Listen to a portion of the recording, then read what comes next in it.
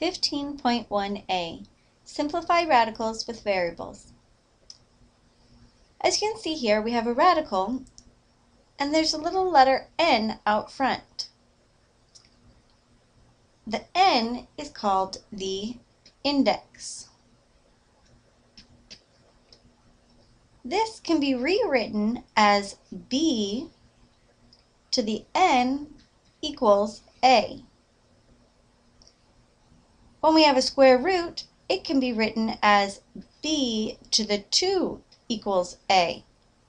This is because it has an index that isn't shown, which is 2. So the index on a square root is always 2. Radicals divide the exponent by the index. The whole number is how many things come out.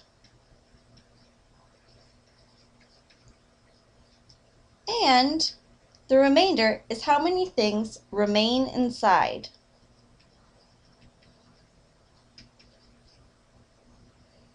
Let's look at this in an example. Here's example 1. We have the square root of a to the third. To simplify this, we first must have to know what the index is. Remember, when the index is not written, there's an implied 2. Then, to figure out how many a's come out and how many a's stay in, we divide the exponent by the index. So we do 3 divided by 2. If we do a quick long division with this, we can see that it goes in once with a remainder of 1. Remember that the whole number is the number of a's that come out. So this means 1a comes out.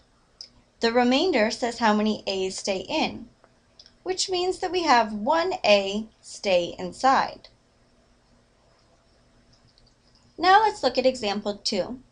We have the fourth root of b to the 19th we need to determine how many b's will come out and how many b's will stay in. We do the exponent, or 19, divided by the index, or 4. So we see how many times does 4 go into 19. It goes in 4 times, with a remainder of 3. This means we have 4 b's on the outside, or b to the fourth, and then we have three b's on the inside. Remember, you must write the index in.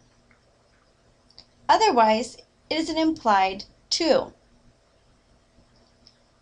If you would like to double check if you have pulled out the correct number, you can take the one on the outside, or b to the fourth, and multiply 4 times 4, which gives you 16, plus 3, which gives you 19. And then you know you have the correct answer. Remember, when simplifying radicals with variables, you need to divide the exponent by the index. The whole number is how many things will be coming out, and the remainder is how many things remain inside.